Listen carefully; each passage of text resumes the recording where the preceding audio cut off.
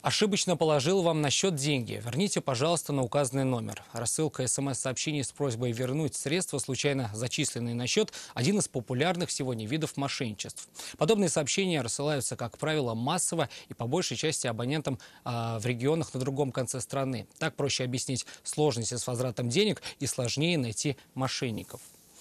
О том, что это обман, многие не догадываются. Отправляют указанные суммы на неизвестные номера. Тем самым лишаются денег и только потом понимают, никто их на счеты не зачислял. Но есть мошенники, работающие индивидуально, с каждой конкретной жертвой. При этом реально пополняют баланс, но деньги, денег жертвы лишаются все равно. Рамиль Шайдулин узнал, каким образом и что делать, чтобы не стать жертвой обмана.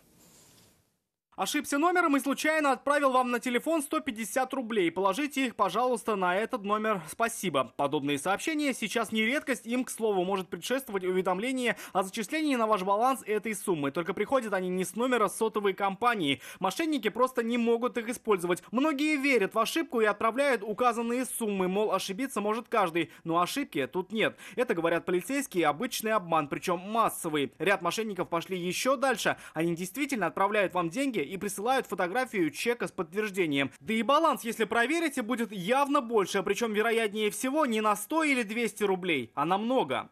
В сотовый салон приходит, например, человек с чеком, где-то тут же пополнил, закинул на номер телефона. Вам позвонил, сказал об этом, сказал, у тебя 500 рублей, вам нечаянно на телефон закинул. Верните мне, пожалуйста. Вот, пожалуйста, чек, даже может сфотографировать и отправить вам подтверждение, что действительно переведены денежные средства. Вы можете посмотреть, все действительно у вас пополнение есть. В эту же секунду, пока отправляете их назад, он может написать заявление в сотовом салоне. Работникам сообщит, что ошибся с номером и попросит их вернуть на счет другого абонента. Отказать заявителю у сотовой компании оснований нет. Это обычная процедура. А жертва же в этом случае лишается своих денег. Если вы хотите, пускай он обратится к, вам, скажете, вот здесь я нахожусь, пожалуйста, приди ко мне, э, пока, с чеком подойди ко мне, без проблем, я вам возвращу эти денежные средства, которые вы э, нечаянно перекинули на мой телефон. Вам нужно просто с ним встретиться. И пусть покажет.